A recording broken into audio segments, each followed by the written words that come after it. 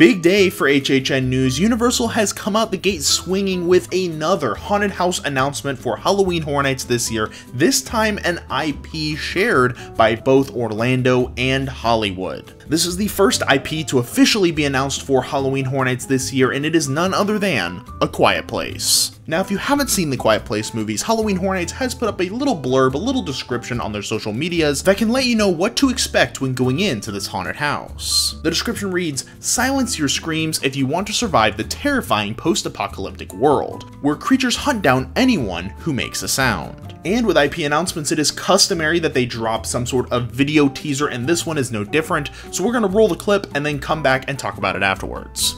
Warning. Unusual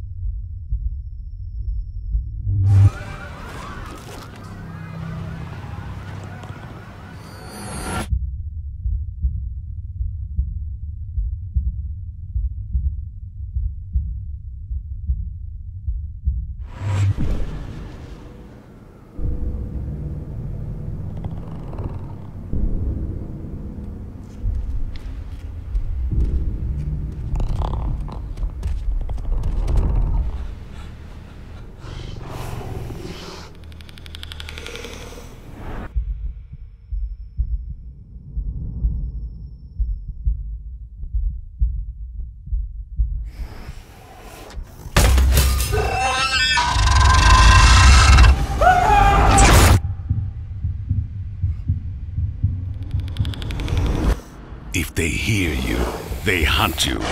A quiet place. Only at Universal Halloween Horror Nights, where horror lives.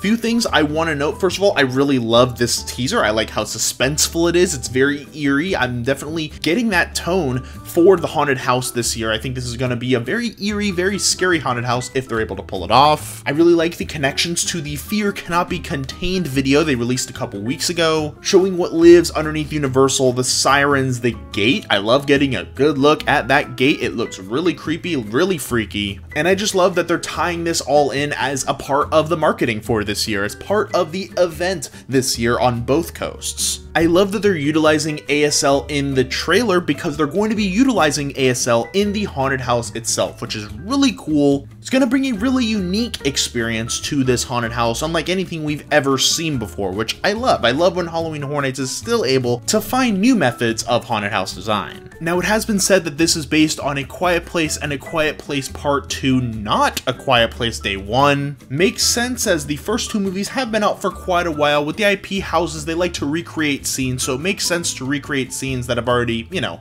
been seen for quite a while. Plus, it's a completely different set of characters. The Abbott family, we've seen two movies with them, we're a little more familiar with them, and they're a little more rooted in the world. Day one takes place, quite literally, on day one when the monsters arrive into the world. And the first two films take place when they're kind of rooted in the apocalypse already, which I think is a better setting for a haunted house. Even though I'm not a big fan of apocalypse-based haunted houses, I've made that known before, I think this was definitely a better choice for centering the story. In terms of specific scenes we could see from the Quiet Place franchise brought to life at Halloween Horror Nights, we are going to be visiting the first film's farmhouse that serves as the Abbott family safe haven, including the cellar where Evelyn Abbott gives birth under the looming menace of these creatures. With this announcement, we also got some brand new event merchandise, a new t-shirt, as well as a heat reactive mug. Both items are available in the theme parks, both Orlando and Hollywood, and I'm guessing the items are also going to be available on the Halloween Horror Nights Orlando website very, very soon. So if you're interested in this Quiet Place event merch, you can go pick it up there. Overall, I'm really curious to see what this brings to the table. A Quiet Place isn't like my favorite horror series or anything, but I think it's a very unique one for Halloween Horror Nights, as I mentioned before.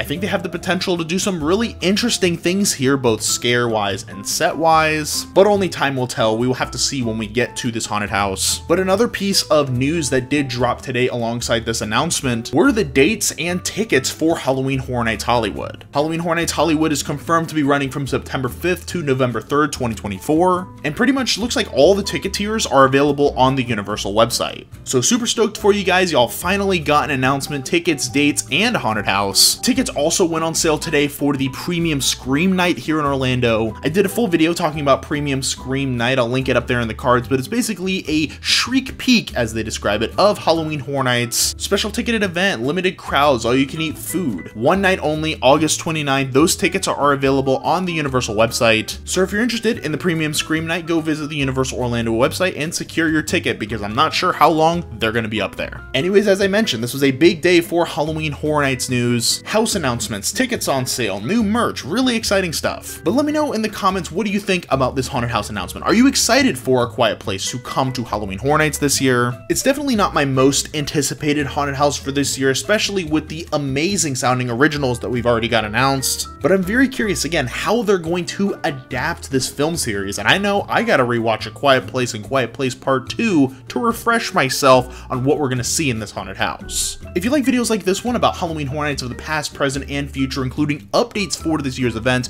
be sure to let me know by leaving a like and subscribing to the channel. Lets me know you like videos this and you want me to make more of them. We are now in the IP announcement season, my friends, so we have more IPs to come, and I will of course make videos when those houses get announced. But until then, stay spooky, and I'll see you all next time.